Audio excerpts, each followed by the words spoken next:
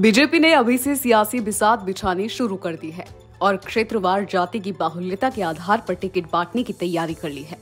क्योंकि बीजेपी जानती है कि राजस्थान में जाति के बिना चुनाव नहीं जीते जाते। इसी कड़ी में बीजेपी के निशाने पर भरतपुर है।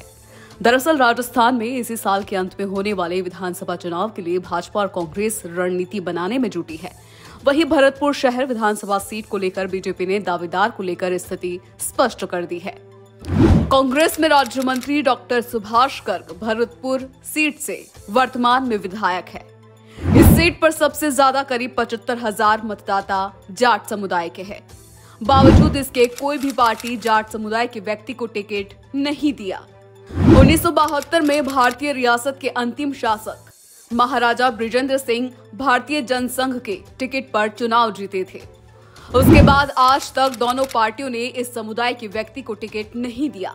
बीस साल तक ब्राह्मण समुदाय के प्रत्याशी लगातार इस सीट पर विधायक रहे हैं, जबकि पिछले 20 वर्षों से लगातार वैश्य समाज के प्रत्याशी विधायक रहे हैं।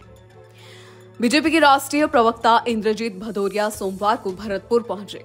उन्होंने पत्रकारों से बातचीत करते हुए कहा कि इस बार विधानसभा चुनावों में ऐसा नहीं होगा।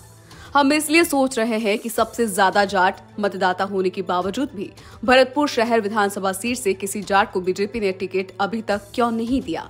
ऐसा बीच में कौन व्यक्ति था जिसने जाट को टिकट नहीं देने दिया?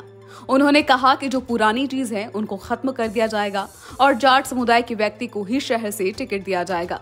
भदौरिया ने कहा कि ज़िले की सभी सात विधानसभा सीटों को भाजपा जीत कर दिखाएगी। पार्टी के मज़बूत कार्यकर्ताओं और ज़मीन से जुड़े हुए लोगों को भाजपा की ओर से टिकट दिया जाएगा।